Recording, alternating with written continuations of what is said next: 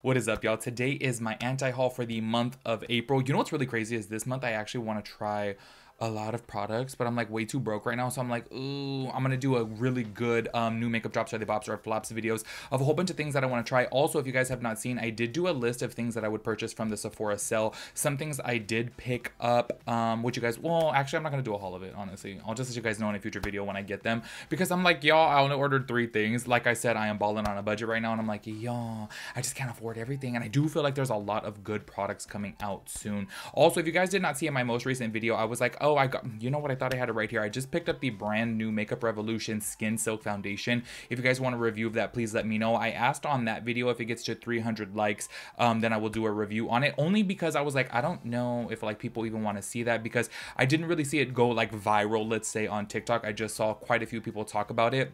And I was like, you know what? This looks like a foundation that I would like. It's meant to be a dupe of the Giorgio Armani Luminous Silk. And I want to say it's $15. And then I got 20% off on top of it. So I was like, y'all, I really want to compare it. I think I'm like kind of thinking about if you guys want, I'm going to do a review of it. And then I'll probably do a like side by side to see if it really is a dupe. Because y'all know I love the Giorgio Armani Luminous. So I said that word, Giorgio, Giorgio Armani Luminous Silk Foundation. But the problem is, is that that is like $60. I want to say it is. It's like super expensive expensive. Anyways, today's video is my makeup anti-haul. As you guys know, I do one every single month just because I love talking about product that I plan on not purchasing. I feel like y'all, this, you know what? I really got to start doing these on TikToks because I feel like I don't see any anti-hauls on TikToks and I feel like I don't know. I feel like it would do good on TikTok only because y'all just keeping it real. Like everyone and their mom seems to just like pretty much love everything on TikTok, and I almost feel like it comes across a little bit fake. Okay, I did tell you guys before, in my personal opinion, I think people are looking for that opportunity to get sponsored by a brand and like get their uh, TikTok turned into an ad. So I think that they're looking for that moment, and I'm like, y'all, I want to do an anti-haul because I'm just keeping it real with you guys. Like I don't work with any brands. I don't get any PR anymore. Literally from no brands. Like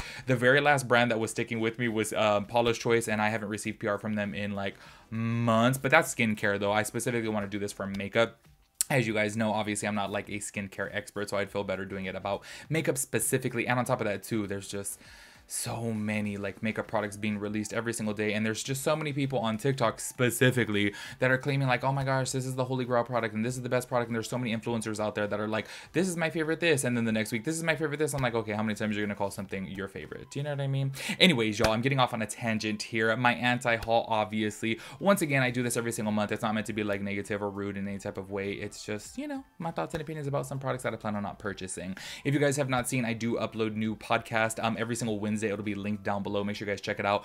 Just a little warning. I always like to give a little bit of warning on that. It is very unhinged over there. It is a hot mess. We are just two friends having ordinary conversations, y'all. And y'all, I am not holding back from talking about anything, literally anything. And I had said before when I do a podcast, like, y'all, we sit there for like two hours. We chop it up for two hours. So we're going to talk about whatever we want and anything. And I just, like, I don't know. My whole thing, y'all, of like doing that podcast specifically is to like say that I'm over cancel culture. And I feel like people are so scared this day and age to have a honest conversation that they want to filter themselves and then kind of become a robot. Do you know what I mean? And I'm like, y'all, I want to break that because I really feel like us as humans, no one's like that. And on the internet, people are just so prim and proper. And I'm like, y'all, no, that's not how it is behind the scenes. Like you'll see a lot of these influencers out here who are acting like all poised and like elegant and like not cussing and then when you see them in person they're a completely different person. Do you know what i mean? And i'm like i don't know. I feel like people are just really scared to be their true authentic selves.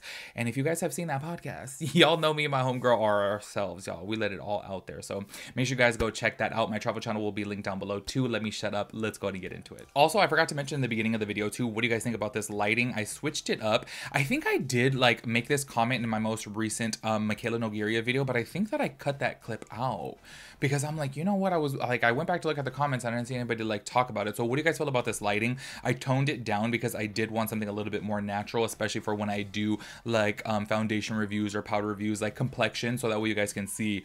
Y'all let me like show you guys up close. Like you guys can see every little bit of detail right here which low-key it's very unflattering but then also it's real. Do you know what i mean? Anyways let's go ahead and jump into this anti-haul. The very first product that i want to talk about right here is from Guerlain These are like highlighting pearls, and I am so sorry. I just think products like this are just so stupid. I think I've seen this before from Physicians Formula. I want to say it is. I don't know what it is about this type of product. I just don't like it. Like, I just feel like it's almost gimmicky. Do you know what I mean? Because I don't really understand why it needs to be in little pearl forms and little balls. Like, what's the difference of it being into a pressed powder? I know obviously you're having multi different colors so you can like pick up different ones, but I think I have told you guys before there was a MAC mineralized um, skin finish highlight that I used to love. It was called Perfect Topping and it's a marble mixture of different colors. Like it would have a little bit of purple in there, a little bit of pink, a little bit of yellow, a little bit of like, you know, pearl and it's just really, really beautiful. I don't think that this needs to be in like little balls. And on top of that too, y'all, this is $72. Like I know Guerlain is really expensive, but I don't know. I just don't think this is cute. Like I get it obviously for springtime this does give very like Easter vibes, but it's just not my vibe, especially for $72. And on top of that, too, like just imagine like traveling with these. Like, I don't know, it just seems really inconvenient and just kind of weird and I don't know. I just don't like it. Anyways, let's go ahead and move on to we have another highlighter right here. This is from Bobbi Brown. Bobbi Brown. Bobbi Brown this y'all i want to say it does really look good and i'm kind of tripped out that they did swatches on three different complexions and it looks good on all three different complexions. But i just i don't you know what it is y'all? You know how i used to tell you guys before that i'm like more of a lit within type of highlighter? I recently said about the um, fenty highlighter. I was like oh that sounds like one that i may like but then i was like you know what? As soon as I started seeing swatches of it and people getting it in PR, I was like, oh, maybe not. It still looks a little bit too blinding for me. This is the type of thing that I'm talking about that I specifically like is I'll take most of my setting spray, I'll cover my face, y'all, like right here, and then I'll do my setting spray just right there so I get that kind of like glow, and that's what I like because it doesn't have any shimmer to it. It just looks like natural dew. I think that I just don't like highlighters anymore. Like looking at this, like it does look beautiful and it's kind of a trip that it does work on so many different complexions um skin tones i should say. But i'm just like i don't know. I just don't think that i would like it. Like seeing the little bit of shimmerness i just know it emphasizes my texture. And like overusing a setting spray doesn't emphasize my texture. Actually i feel like it complements it. Do you know what i mean? But this too on top of that y'all for one single highlighter is 56 dollars. Like i don't know. I just think that's so crazy because i've said this before. Y'all wet and wild has some beautiful highlighters. If you're looking for a really bomb highlighter wet and wilds are really good. And y'all i want want to say like back in the day where they were like three dollars, so maybe they're like up to like six dollars now, but that's still really really cheap. Probably under ten dollars. Let's just keep it real. Inflation's really really bad, but that's still good compared to fifty six dollars. And I bet you you get the same effect. So this is a definite no for me. Recently, I've been talking about Jones Road a lot, and I don't know what it is. The brand just does not appeal to me whatsoever. I don't know if it's the lackluster packaging. I don't know if it's the lackluster colors. I don't know if it's the lackluster products. The brand as a whole is just a huge flop for me, and nothing is appealing to me. And I have to say, I feel, in my personal opinion, ever since I saw that like balm foundation that they came out with, or like that, y'all, it just looked weird and separated and I think Meredith uh, Duxbury made it go viral for how she was using it, and the owner was like, "No, girl, you're using this way wrong." I just wouldn't want to use a product like that. It looked messy, it looked dirty, it looked muddy. It just looked like a not convenient product, and I feel like ever since then, I'm just like Jones Road is just not for me, which is crazy because I do like Bobbi Brown. It's the same owner, and I know that she's going for a little bit more of a like natural aesthetic with Jones Road, but I just don't like it, y'all. She's coming out with these new the lippy sticks right here, and these just look so cheap to me, like really cheap. And these are $22. And to be quite honest with you, they look like something that should be at like Ulta or like Walmart for like $9. Like $22 for this. And they just look so. I don't know. They look like a tinted chapstick in my personal opinion. So I'm just like, no, this is just not for me. I feel like if you're charging that much, I just, I don't know. I would expect some better packaging or something. And then I don't know if I'm tripping. Obviously, I would have to see it in person, but doesn't the top of it look so big? Like it looks like you can't even get precise application with it. And being that these are all in different shades, you're gonna want to get precise application. And it just looks so extremely rounded, kind of like a Carmex like lip balm. You know what I mean? That I feel like you're not gonna be able to get precision with this. And I just overall, I don't like it. So that's a no for me. Up next, please educate me on this, y'all, because I don't know if I'm just tripping. Maybe I'm just not following the trends anymore. Are faux freckles still in? Are people still doing faux freckles? I swear on a daily basis, I don't see anybody out in the real world doing faux freckles. Maybe I'm just not paying attention too much. Maybe they just blend in too much. I don't really know. But every single time that I like go out into the grocery store, whether I go out to a bar, whatever, I don't notice people doing faux freckles. As to where I feel like maybe about three or four years ago, they were really, really in Well, y'all, this brand right here called Pink Honey is coming out with a freckle marker. And I do want to say the price point of these is really fair. It's a really random price point. This is from Trendmood. It says that it's $11.61. I feel like that is really, really weird. I think this is a cool little pin if you are still into the faux freckle look. You know what's really weird is I actually do have some freckles from sun damage and I try to cover them up. Like I actually don't really like them. For some reason, I feel like call me crazy on this, but maybe some of you guys can understand what I'm saying on this. I feel like when you start getting to a certain age, freckles almost look like sunspots. Do you know what I mean? So I'm like, oh my gosh, like maybe they look like sunspots, age spots, and I'm like trying to conceal that. So I'm like, I know that like, oh, it looks cute, but I feel like it looks cute on more like young people. Me, you know, in my mid 30s, almost mid 30s, I'm like, oh, I don't know if I like that, but I have to say, like, these little freckles, like, they do look cute, and this does look like a convenient pin, but it's just not something that I would buy. I'm just not into the faux freckle look.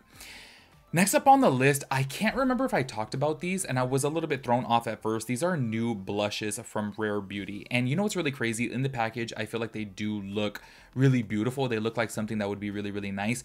Well, now that I've started to see more and more reveals, uh, re reveals, reviews of these, this is something that I most definitely would not like. And I can't remember if I put it in a new makeup drops or a, um, anti-haul video of mine so i apologize if i am repeating myself on this but these are the new blushes and y'all $26 not too bad of a price point my whole thing of this is i feel like they look way too dewy i seen Manny MUA use them i see Mikayla use them and look don't get me wrong the colors look beautiful but i feel like they are meant for a person who has perfect skin. And I'm not even trying to be shady when I say this. When I saw Manny MUA's video, I feel like it emphasized his texture big time. Like I was looking at that video on TikTok and I was like, oh, whoa, this is like showing all types of texture that I didn't see before he applied that product. And I was like, look, the color is beautiful and the finish is beautiful. But if you have really nice, plump, like even textured skin. I feel like if you're like 20 years old and have like perfect skin, then I think it looks good. Somebody like me who has texture right here that does have a little bit of crepiness, I'm like, y'all, that would emphasize that and just,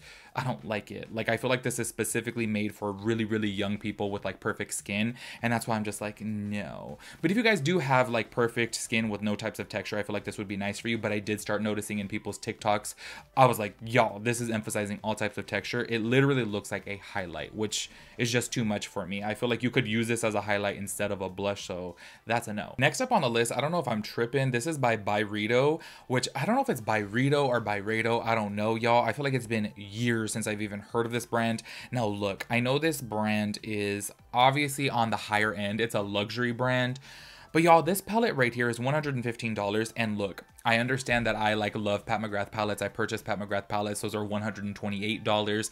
And, you know, I, I want to say there are only 12 eyeshadows in that, maybe even 10. So I get it that this does have more, but this color story to me has to be the most plain, lackluster, dull, dry color story that I have ever seen. I feel like this looks horrible. Like I look at this and I'm so uninspired. And like to be straight up real with you, I feel like this is something that like a mortician would use. Sorry if that sounds offensive. I'm just keeping it real. Like this just looks so dull. Like I look at this and I'm like, I just don't, I don't like it. And y'all know that recently, like the more old I get, I'm like, I really do like my neutrals. I don't like too much color. Like, I feel like any single time that I'm drawn to a palette now, it's going to be a neutral palette, like one of the Makeup by Mario palettes. And this to me, I'm just like, I don't like it. Like this is just a no. And it's $115 for this. I don't know the formula on it. Maybe it is a bomb formula, but overall, why do I feel like there is so many different shades in there that look so similar? Like all of the greens look the same. Those like murky purples look the same. I just don't, I don't know. I just don't like this palette whatsoever. I feel like it is like the most uncreative palette that I have seen in a long time. So that's a definite no. The last product up on the list, this is a trip to me because I remember before that when Burt's Bees had did this, I want to say it was an April Fool's joke that they were coming out with a Hidden Valley Ranch lip balm. And then it turned into a real thing. And then they came out with it again this time around. And I love how on Trend Mood she had to put in there, this is not an April Fool's joke. And I'm just so sorry that this is just uh, unhinged to me. Like, y'all, and that's coming from me. Y'all know that I'm crazy. I feel like this is just too much. Who wants to have their lips tasting like ranch? Like, can y'all just imagine? If in your purse you just were carrying around a little ranch lip balm and you're at the club or whatever and you're like oh my lips feel dry i gotta put some on and then you go to like meet and like make out with somebody and they're like oh this bitch tastes like ranch. Like who would want that? There's a full pack of these y'all and so there is one that is a ranch flavor a celery flavor a carrot flavor and a buffalo sauce flavor And I'm just so tripped out by these because honestly, y'all, like I love when like I don't know, you have like a random little like say for example, like if a chapstick does a collaboration with like Jolly Rancher, like something sweet, something fruity. Do you know what I mean? Like that kind of goes and it like tastes good. Or say for example, when the lip balms before that were super popular, when they had like a Pepsi flavored one or like a um what was the other one, y'all? I feel like there's just been so many different types of collaborations with like lip balms and like different flavors of drinks, and I feel like those kind of make sense, like cherry cola. Do you know what I mean? Because that's that like tastes good and smells good, but something like this, like y'all, this is gonna be like wait, like picture, like I hope you guys can picture this. Say for example, you eat something with a lot of ranch, and then you take a drink of water, and then you like smell the like cap, like the bottle top of your bottle, and it's like, ugh, like it just smells nasty. I feel like that's what your lips will smell like with that that's an absolute no. Like I am so sorry. Hidden Valley times Burt's Bees. That just I feel like it really should have stayed as an April Fool's joke, to be quite honest with you guys. Anyways, that wraps it up for this video. Make sure you guys let me know your thoughts and opinions. Make sure you guys let me know what you plan on not purchasing and make sure you guys put the reason why. I will catch you guys in the next video. Peace out, Girl Scout.